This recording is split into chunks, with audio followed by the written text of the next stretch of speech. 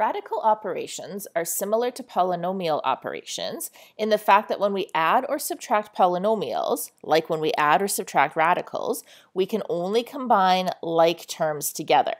When we're multiplying or dividing, we do not have to have like terms. We multiply coefficients and then we multiply the variables, or we divide the coefficients, we divide the variables. Let's begin with the multiplication. So if radicals have the same index, we're multiplying, let's say, a square root times a square root, or two cube roots together, then we're going to multiply the coefficients, multiply the radicands, and then check to see if we can simplify, is there a perfect square left in that radicand. So my coefficient on this first one is 1 and 1. So 1 times 1 is 1, 5 times 2 is 10. 4 times the coefficient of 1 is 4. 3 times 7 is 21. So there is no perfect square we can remove. Same thing with 10. but We cannot remove a perfect square. 4 times 2 is 8. 5 times 10 is 50. We can pull a 25 out of there, square root the 25, and we get 5. 5 times 8 is 40, and we're left with the 2 in the radicand. 2 times 3 is 6, times 4 is 24, 4 times 2 is 8, 8 times 2 is 16. 16 is a perfect square. So when we take the square root of 16, we're left with 4 times 24 gives us 96. There is no more radical. We have a whole number in that particular question. Have the same process with division. So we're going to divide coefficients with coefficients. 1 divided by 1 is 1. 50 divided by 2 is 25. 25 is a perfect square, so square root that, and we're going to end up with a value of 5. My next one, 1 divided by 1 is 1. 48 divided by 6 is 8. Divide a 4 out of there. The square root of 4 is 2, and we're left with the 2 in the radicand. 16 divided by 8 is 2. 10 divided by 2 is 5. There is no perfect square in 5. That is our final answer. Thinking back to polynomials, if we had a monomial times a binomial, we distributed that in and then got our values. Radicals works the same way. So we're going to multiply the first coefficient by the first term's coefficient. 1 times 1 gives us that 1.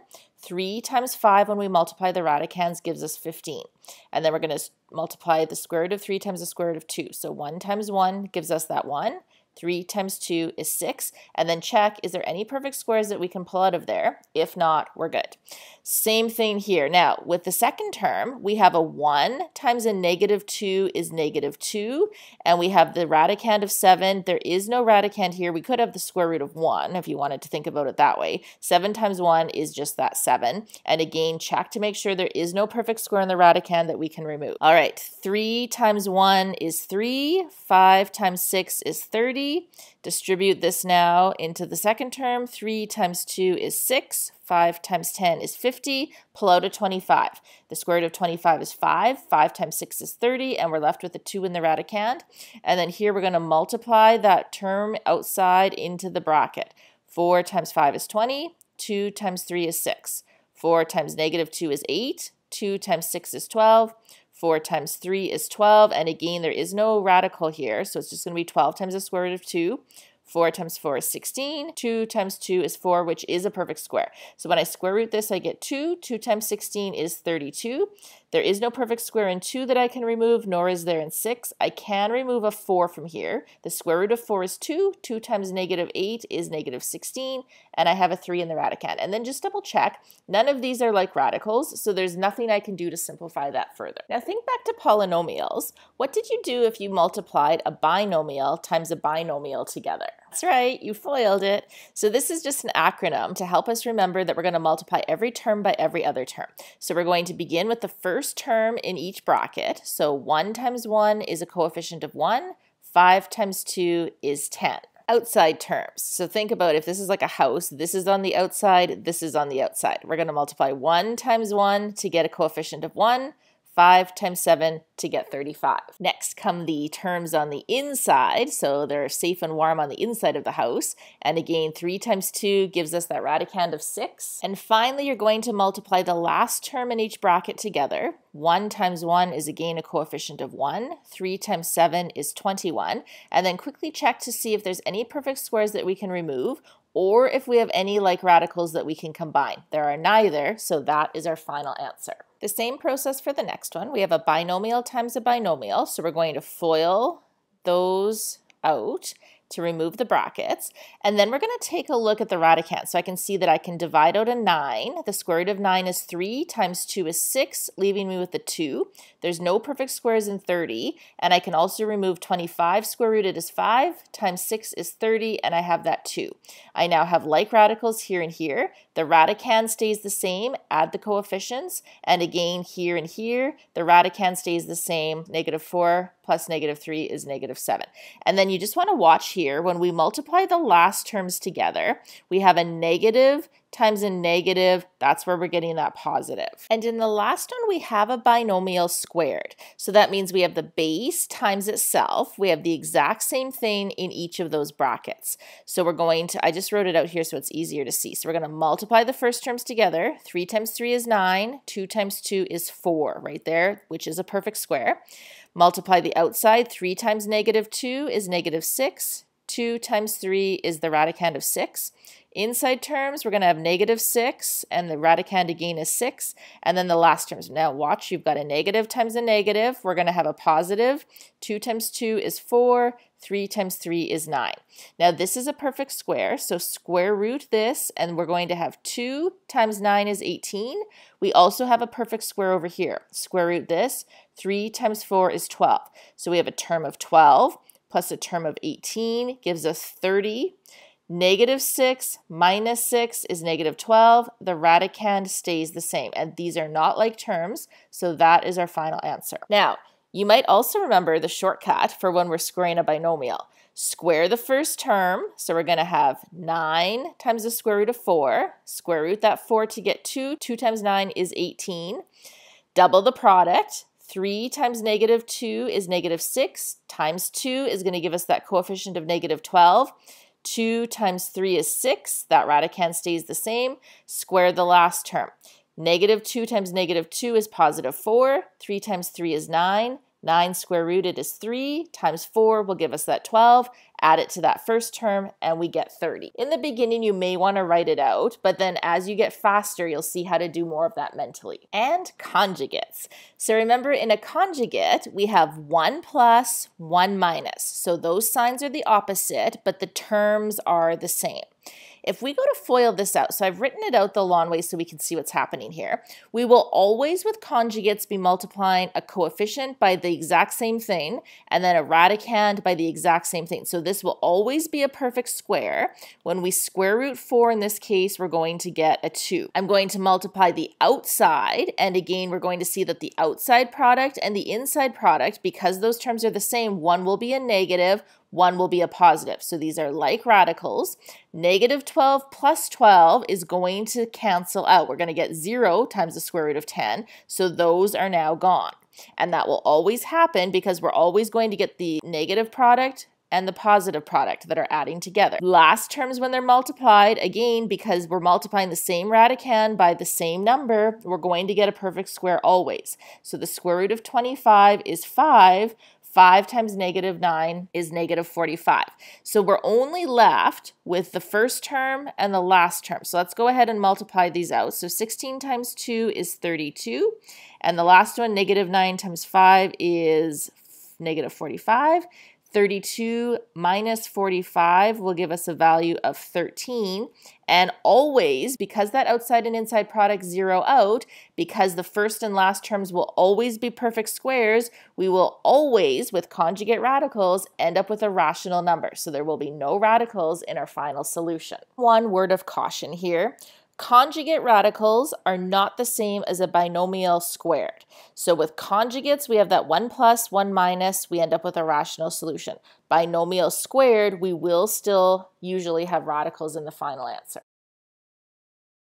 Dividing radicals is the same process as multiplying radicals, where we're going to divide the coefficients, divide the radicands, and then simplify. In order for a radical to be in simplest form, we can't have any removable factor in the radicand. We also have to make sure that we do not have any fraction or decimal in the radicand, and we cannot have a radical in the denominator. So if we take a look at the first example, if I were to go 15 divided by 2, I would get 7.5. That's a decimal. So I need another way way that I can simplify this because I can't just leave this radical on the bottom. As soon as we divide a number by itself, we have a value of 1. As soon as we divide a radical by itself, we have a value of 1. If we multiply any number by 1, we end up with that same number. Any value multiplied by 1, we get the same value back. Multiplying by 1 does not change that value. Those two concepts combined will allow me to now simplify this. So I can't just straight divide, I get that decimal in the radicand. So we're going to multiply by the same radical that we have in the denominator. I need to eliminate that radical in the denominator, and the way that I can do that is by multiplying this value by itself. 2 squared now becomes the square root of 4, which is a perfect square. Multiplying by any number other than 1 is going to change the original value of the question. So the only number that we can multiply by is 1. What makes this one? Well, we have to put the same thing in the numerator. So the square root of 2 divided by the square root of 2, this is a value of 1. When I multiply by 1, I'm not changing the original question. So now we can go ahead and multiply. When we multiply fractions, we're going to multiply the numerators. The square root of 15 times the square root of 2 will give us the square root of 30. And then on the denominator, the square root of 2 times the square root of 2 gives us the square root of 4. We already established that 4 is a perfect square. That's the point of rationalizing. So we can go ahead and simplify this down to the square root of 30 divided by 2. So now we're going to check, is there a perfect square in here that we can remove? No. I don't have any fractions or decimals, so that's good. And then I don't have that radical in the denominator anymore. And then just check, we have a 1 as a coefficient and then a 2. If those can reduce we want to reduce them, but in this case, we're good. So this is our final answer. We call this rationalizing the denominator because we get the denominator to be a rational number. It's no longer irrational. We've eliminated that radical. So in our second example, again, we need to eliminate this radical in the denominator. So I'm going to multiply by that radical the square root of 5 times the square root of 5 gives me the square root of 25, so I know I'm going to have just 5 in the denominator once we square root that 25. 3 times 1 is 3, and I have times the square root of 5. There is no more perfect square in here. There's no more radical in the denominator, and I cannot reduce 3 fifths, so this is our final answer. Now with this one here, because I do have a variable, I need to begin by stating the restriction. So if we take a look at this, it is a square root. Normally we would say because we're multiplying that x is going to be greater than or equal to 0. However, this variable is in the denominator. We cannot divide by 0, and so if I put a 0 here, that's going to make my denominator 0. We can't divide by 0. So our restriction is going to be x is greater than 0. Make sure you do not put the equal sign because we cannot have that denominator equal to 0, and x is a real number. I need to again eliminate this radical in the denominator, and I'm going to check first of all if I can eliminate it by dividing those two radicals. I can't, so in this case I will have to rationalize. Now, we can choose to multiply by 2 times the square root of 7x on the top and the bottom, or we can just get rid of that radical by multiplying by the square root of 7x. I'm going to do that because we have less simplifying to do down the road, but if you wanted to put a 2 here and a 2 here, they will end up dividing out. Square root of 6 times the square root of 7x is the square root of 42x. 2 times 1 is 2, and I know square root of 7x times the square root of 7x is the square root of 49 squared, which when we take the square root gives us that 7x. Multiply those two together on the denominator to get 14x, and then check to see is there any perfect squares in here that we can remove? There are not, and because I have a coefficient of 1, 1 divided by 14x does not reduce. Now, I cannot cancel those x's. This is x, this is the square root of x. So just make sure you're careful with that. Now there's different ways that we can go about something like this. I would probably simplify each of those radicands first of all, so my numbers aren't so large. So when we do that, we end up with those values.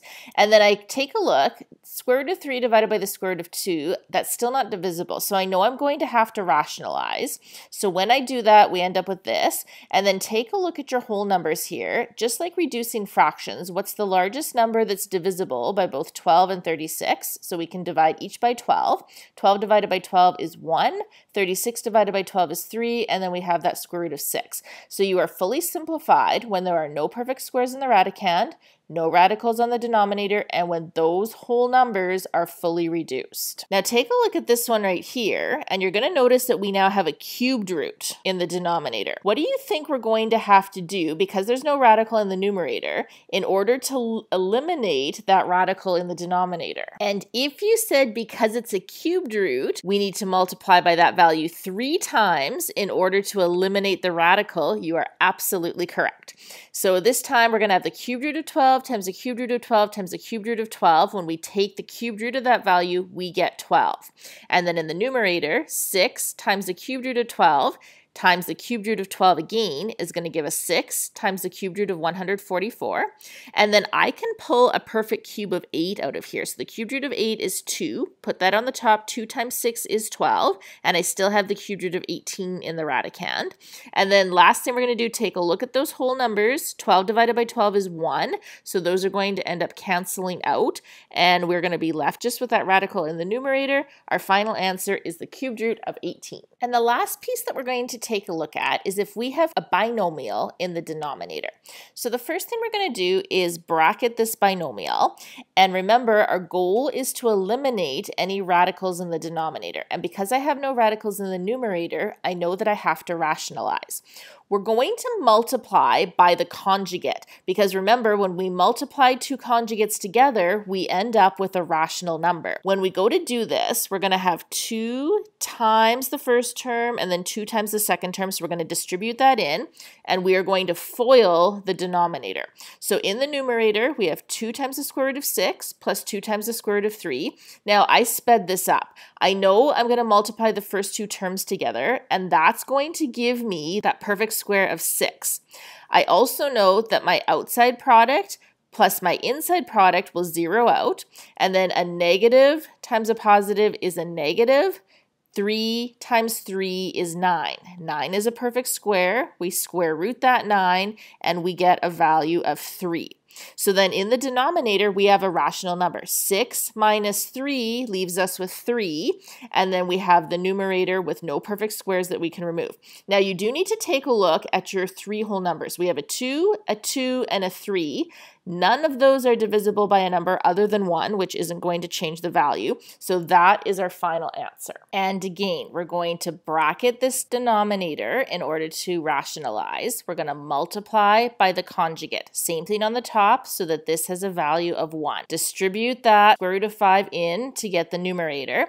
FOIL the denominator, and again, 3 times 3 is 9, 2 times 2 is 4. The square root of 4 is 2.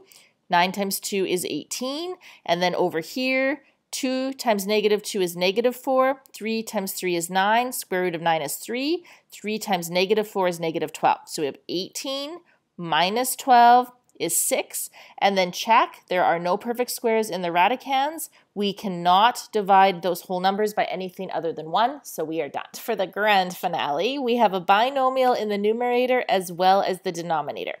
It's okay to have a radical in the numerator for our final answer. We need to eliminate the radicals in the denominator.